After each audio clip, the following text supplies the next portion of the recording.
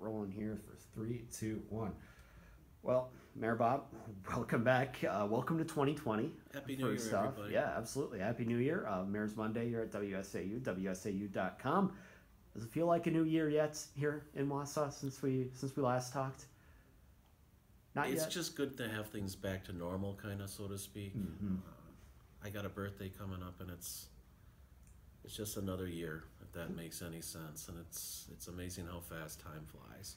yeah, again, another year um, under the belt here for the administration. You and I were just talking a little bit. Uh, year number three brought some more records as far as economic development and growth goes. We've touched on this before, but now we've finally got the hard data. So uh, tell us what happened in Last year, 116 million dollars worth of new construction and growth. Again, that's another excellent year. Three years in a row for economic development, job creation. Our jobless rate is less than three percent. It's like 2.9 or something like that. Jobs are out there if people want them. Uh, the good news is things are going very strong here economically, in so many other ways, in a positive way here in the city of Wausau.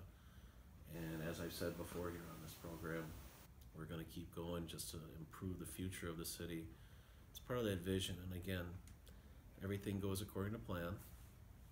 And let's face it, folks, a lot of that is life. You can have the best made plans and all the experts saying you're doing the right thing, and then something could happen where it doesn't work. The point is, you keep trying, and we don't spend a lot of money in the process of doing that either. Economic development is the future of our city, and some may not like it. Some like, well, why are you investing in this money? Because we're going to get a good payoff for it in the end within a certain amount of time. And if we don't take care of it, another community certainly will snatch it up. And I'm all for the entire region. You know, if it's good for Wausau, overall it's good for all of us. But if I can get it to come to Wausau, that's my position, and that's what we should be doing. Yeah, and that's definitely going to be you know a focus as you go into 2020 here. We already had uh, economic development last week, a very busy agenda. Again, projects, projects, projects, uh, Right. stuff that's in the pipeline and things like that. So it might not always be right there on the surface, but there's certainly people working behind the scenes to make those things happen. Well, and here's the thing too. Again, unlike ever before, never before, we broadcast everything is out there in the open for folks to see. And really, when people have a chance to hear these different things going on or different plans, you know, you have that right to question it, that type of thing. And most people seem to be on board. They understand why it's being done. Again, this is for the future of our city. If we do nothing, we know what's going to happen. We're going to die. And whether people want to admit that or realize that or not, I don't know what to tell them. Hence the reason why, like I said, this is three years now of record historic economic development and growth. A few years ago, if folks remember here at City Hall how things used to be and the culture and the morale here used to be, and some things that uh, should have been being done differently. Now there's a sense of accountability. City Hall is being more run more efficiently. There's a sense of integrity. I've said this before numerous times. We've got the best staff in the world, and everybody is cognizant as far as doing a good job. That in turn attracts new businesses and attracts new residents, because again, we're looking at the future of our city. It all ties in together, and you know, I've said this before. I love what I do.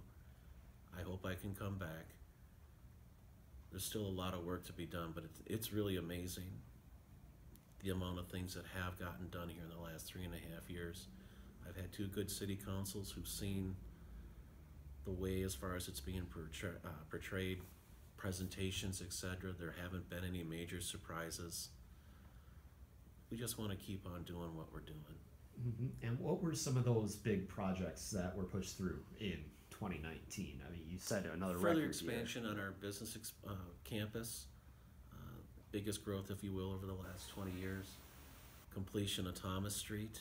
Uh, now, I know right now the, the traffic lights aren't there. You know, folks, that's not the city's fault. It's tariffs that were caused. We thought it might have been our supplier because we were better than you know what as far as like, why can't we get these now? We had them ordered way in advance and they had ordered them in advance. But unfortunately, due to the circumstances beyond our control, the traffic lights will be up here, and you know, uh, by the end of January. But Thomas Street is another project that got done. First Avenue, uh, other infrastructure that's being addressed, different roads, different systems, if you will, a new fire station. And again, when we had this all happening, a lot of that was just that better communication between the mayor's office, the city council, and employees. And getting the city council out to just not tour city hall and talk to the employees and the directors here, department heads, but go out, go out to police, fire, Department of Public Works, water, sewage. Go out there and talk to our folks and our employees, see what their jobs and missions are, and oh yeah, look at our infrastructure that is literally falling apart. Now is the time to do a lot of this infrastructure because interest rates are next to nothing. We've had three record years of economic growth. You strike it while you can, and a lot of that again is a, an investment in our future. I've said this before, the Band-Aid approach that might have been done in the past, it's finally caught up with us. And the thing is, we get that message out, we have public hearings, hear what folks have to say. We don't please everybody, but the message gets out if people are willing to sit there and to learn the facts and educate themselves and don't follow social media. You know, and most people understand the reason why we've been doing so much of what we've been doing the last couple of years. The Riverfront Park is another perfect example that got completed this year. Uh, and the next expansion going to both the north end of the river and the south end going to downtown. You know, I can't say enough. The next couple of years, the riverfront and places downtown are going to be transformed. And it's all good. It contributes to the tax base of the future of our city, it creates jobs. This is what economic development does. And to those that say, oh, we shouldn't be spending any money, realistically, because I mean, I know there was a time when I served as an older person. Well, if a business wants to come to town, I can understand the city paying for like uh, roads leading to it, uh, construction, if you will, as far as the utilities, and maybe even forgiveness of taxes for a little while. And that's not how it's done anymore. It really isn't. You want to attract businesses here, you have to reach out to them. There has to be incentives provided. I think it's it's just the way it is everywhere nowadays. The, the trick is is knowing when to say no. We got to make sure we get a good return on our investment. And I think people would really be surprised at the amount of things that we have said no to. It's too rich for our blood, or we're not getting enough of a return. It's business. Again, we try to put it out there in the public specter for them, to everybody to see what's going on, and we really haven't had the problems. Mm-hmm. Um, and we'll continue doing what we're doing. Absolutely, and and that uh, the meeting that uh, back in December where we we saw you know that vision for the second phase of River Life and some of the reconstruction and things like that. I think uh, first off, one of the things that really jumped out at people was you know drawings for a second tower right there going into downtown because obviously that's you know that's Wausau's skyline right, Right. there and now that doesn't mean that's going to happen but it would certainly be something that would another thing that would really put Wausau on the map if it does Well, you know, over the last three and a half years, we've either updated or created uh, nine, ten, maybe even 11 different types of plans for throughout the city, or we've updated, if you will, like our comprehensive plan, similar to a strategic plan. First time it's been updated since 2005, that got completed. Our uh, zoning code, first time since 1967, that was very detailed and very lengthy. That got completed for the first time in addition to other plans on the south end of the river, the north end of the river, downtown.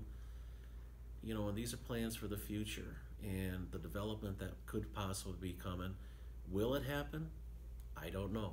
But the thing is, we do have the plans in place for developers or staff to take a look at and make a presentation on. And that wasn't always there before either. I get very proud of our planning staff and our economic development staff and what they do in making the city go forward. And then the other part of that plan that people really, you know, kind of opened their eyes or latched onto was some of those townhome developments, basically creating almost a new neighborhood Mhm. right near downtown in some, you know, unused land and maybe moving some other buildings around, but basically creating an entirely new neighborhood right there by the river. It- you look at the way people are moving these days and you talk about being forward looking, that's kind of what people want. That's what they want. It- and I know, I, I've said this before, I know my wife and I are kind of looking maybe to downsize one day. Um, you know, we've got new development going on on the north end of the river with townhomes, a possibility. Also off of downtown. You know, it really is a good time. It's very almost a prosperous time here in the city of Wausau. And I'm also a realist. That's the reason why I'm trying to get infrastructure done and taken care of now that is needed. Because who knows how long the economy will last. I mean, you got to be prepared, so to speak. And in moving forward, we're doing fine. Our debt is more than manageable. We're doing paying things off very aggressively. Sometimes I wish we could get a better shake on that. Again, social media, folks can say and do whatever they want, and there's no accountability. But the thing is, we still reach out, still try to get our message out, still have the public hearings, address the media. Mm-hmm. Uh, you folks have said this too, as far as you've never had accessibility here like this before, be it with myself or with department heads who are the real experts on a lot of these things. But again, it's just really a good time here in the city of Wausau. There's always work that needs to be done. We've got different issues like many big cities in America, and we'll keep on trying to address them and be proactive before it gets worse, which overall, for the most part, we've been able to do. And of course, do it all without having snowball fights. Correct. I am just amazed by the reaction that video had. Um, you know, and I guess I'm more surprised at the different things that people get upset about. I had mentioned this before, but uh, from a national level, the amount of calls and emails that we received, some very nasty and vulgar. And purposely, I called every one of them back from across the country after we created that video, you know, to turn a, a negative into a positive, to show that we do have a sense of humor, and to kind of chide the national media as far as guys, you should really, before you report a story, make sure it's honest and truthful Mhm. and correct. I was surprised because locally, everybody knew about the ordinance. It's never been an issue. I guess that's the power of the internet and the power of the media. If you follow things, I don't know what people want to watch. Because of this, I got to learn there's a lot of different websites out there barstool.com, whatfinger.com. And again, the thing that's sad about the internet, it doesn't have to be factual, it doesn't have to be accurate, it certainly doesn't have to be truthful. That makes jobs here kind of difficult. But the Mhm. thing is, again, we go out there and reach into a positive way, try to show that we have some fun with it. And that video in particular has really been absolutely a, a wonderful type of thing to do. And for the record, that hit to my head was legit. We did not choreograph or plan that. I understand our deputy chief, Matt Barnes, is signing things, the one that got away. But he also said I was a very good sport, too. Mhm. Yeah, absolutely. Because I know that's one thing that'll come up here this week, possibly removing snowball from the ordinance, and you know, hopes of uh, hopes of preventing something like this from happening again. in a- I guess the main reason why we're doing it, it seems like now I've been here eight years, and it seems like every two and a half to three years the story comes back, not to the level that it did this time, because the national media really why they picked on Wausau or, or singled us out because it's an ordinance in every community. And this was created back, we actually looked at the charter, our city attorney shared this with me the other day. It was actually on the city charter back in eighteen seventy-two. But this official ordinance was created in nineteen sixty-two. I was born in sixty-six. I don't have that type of power. Um, you know, and there's nothing wrong with having some fun, but I guess we're just surprised at the power of the internet. But it should be a little bit more responsible too. Mhm. And I wish there was a better accountability. Because, you know, we're all held accountable here in government, and we should be. We should set an example. But, you know, that should be all the way around too. Well, we'll uh, maybe next time it comes around, it'll be uh, it'll be Stevens Point's problem or Marsh Marshfield since they have the uh, ordinance on the books as well. Well, the one thing too, I was gonna say, and when I addressed the Public Health and Safety Committee on this, you know, I'm like, you know, folks, you're the ones that create the, the ordinances and the laws and policy. I said, I don't care if you wanna remove snowball or not, projectile, the police will still have the power if they determine, you know, I think in fifteen years they've ta- tackled it, cited somebody twice. Uh, from what I understand, one time a rock was packed with, or excuse me, a snowball was packed with rocks thrown at a car window. Another time was an ice chunk. Uh, you know, honestly, they can be dangerous, okay? Mhm. But the police have that discretion. They do a great job. They're not out there citing everybody. Um, kind of similar when we got taken to task here a few months ago as far as a new homeless ordinance or to get people loitering in our parking garages. And we had to create a law to enforcement because people forget if somebody had ever did get hurt in one of our garages, be it very unlikely a homeless person or a stalker or a vandal, that type of thing, then the city is held liable for it. Anyways, we've moved forward. You know, nobody has been arrested. Mhm. Actually, the police, as always, help folks out. It just is disappointing sometimes where some members of the media or on social media, they start something and it just runs wild. I get both amazed and amused sometimes by it, but Mhm. it's life, you gotta move forward. All right. Well, we appreciate the time as always. We'll look forward to chatting again uh, next month. Sounds good. Go pack.